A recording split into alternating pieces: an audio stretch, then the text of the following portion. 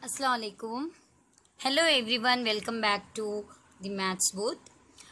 Today we are going to discuss about SSLC Mathematics Blueprint 2020-21 for this year which is very important. So let us begin. What is the theme and how much marks is allotted to each topic? Okay. So in the theme 1 that is algebra the topics are arithmetic progression, pair of linear equation in two variables and quadratic equations. So in the theme 1 it comes three chapter that is AP, pair of linear equation and quadratic equation. It so theme 1 allotted 26 marks. So from these three chapters you will get 26 marks questions. So let us see so next theme that is trigonometry. So in trigonometry we have two topic that is introduction to trigonometry and application of trigonometry. So from these two topic 11 marks question we will get in the examination. So let us see the next theme coordinate geometry. So from coordinate geometry 7 marks. Only one topic that is coordinate geometry 7 marks is allotted. So the next theme is statistic. From statistic topic we are going to get 7 marks. The next theme is geometry. From geometry there are three topics. One is similar triangles, circle and construction. So from these three topic 19 marks question is allotted for 19 marks. From these three topic that is theme geometry. Let us see the next theme that is mensuration. In mensuration we have only one topic that is surface area and volume that is 10 marks. So from this AP pair of linear equation and quadratic equation 26 marks.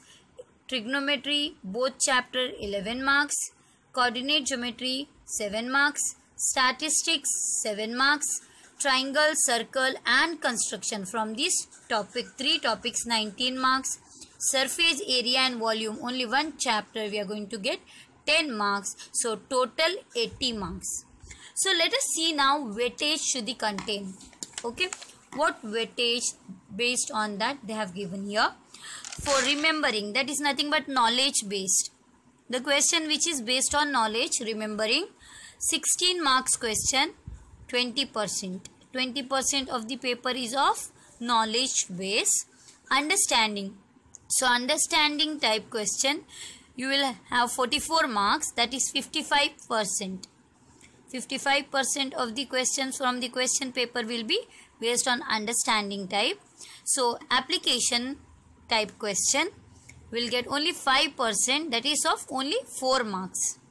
And the next is skill based question. So skill based question is of 16 marks that is 20%. So total marks 80.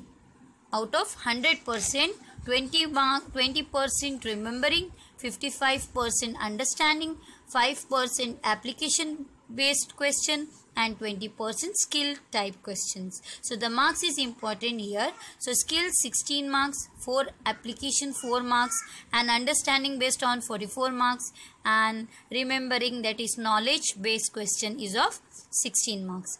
Let us see now the difficulty level.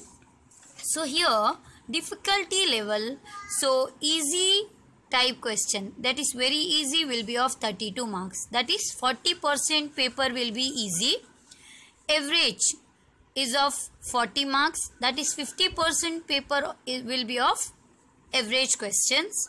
And the difficult level very difficult question will be 10% that is of 8 marks. Easy 32 average 40 difficulty level is 8 so total 80 marks out of 100% 40 is easy 40% question will be easy, 50% question will be average and 10% question will be difficult. So let us see next.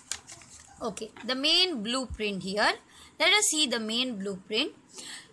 Just now I have told you from the theme 126 marks that is of A AP that is arithmetic progression then pair of linear equation, then quadratic equation. So we can expect AP one, one question of knowledge that is in multiple choice question, one questions of again knowledge that is remembering in one mark question. And one two marks question understanding from AP chapter. 3 mark question from understanding from AP chapter. And one 4 mark question which is based on understanding from AP chapter. Total how much how much marks we can expect from AP chapter is 11. That is one based on knowledge which is in MCQ. One mark question based on knowledge. Two mark one question based on understanding 3 mark 1 question based on understanding and 4 marks 1 question based on understanding. So total 11 marks we can expect from AP chapter. Next pair of linear equation 1 mark knowledge based which is in multiple choice question. 1 mark again from knowledge that is in 1 mark question and 2 2 mark understanding question and 4 mark skill question. In pair of linear equation, skill question is nothing but graph which is very important one sure question.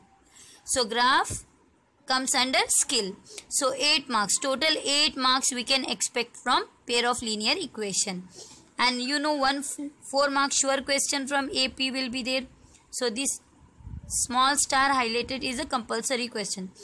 So 4 marks graph what I told here in linear equation multiple choice question 1 which will be based on knowledge 1 again knowledge based 1 mark question 1 2 mark question based on understanding and 1 4 mark question based on skill. That is graph. Next topic is quadratic equation. So in quadratic equation 1 mark knowledge question which is in multiple choice question MCQ one mark knowledge based question that is one mark question. Not multiple choice. This first one is multiple choice second one is one mark question then this is two mark question one two mark question this is two marks not two questions okay two mark one understanding question based on quadratic equation which is mostly either formula method or discuss the nature of root here one 3 mark question based on understanding. So total 7 marks we can expect from quadratic equation. So here we can see 11 plus 8 19 19 plus 7 26 marks. So theme 1 26 marks how it is allotted? From ap we can expect 11 marks. From pair of linear equation 8 marks. From quadratic equation 7 marks. So let us see the next theme. So the next theme is 11 marks. That is trigonometry. Introduction to trigonometry and application of trigonometry. From introduction to trigonometry one marks knowledge based question that is mcq multiple choice question one mark which is based on knowledge. One question knowledge based in one mark question. First main will be multiple choice then second main will be one mark question. So one question from trigonometry which is knowledge based and one question two mark question. So one question from trigonometry which is two marks from understanding and one more question of three marks. This is three mark. Three marks understanding question from trigonometry. One knowledge based question which is multiple choice. One knowledge based question for one mark. One understanding questions of 2 marks and one understanding question of 3 marks. So total we can expect 7 marks in trigonometry. And from application of trigonometry only one question of 4 marks from application. Okay. So application question from application of trigonometry for 4 marks. So total 4 marks. So from theme 2 that is total marks theme 2 is 11 so 7 plus 4 is 11 let us go for the next theme that is coordinate geometry. From coordinate geometry 7 marks.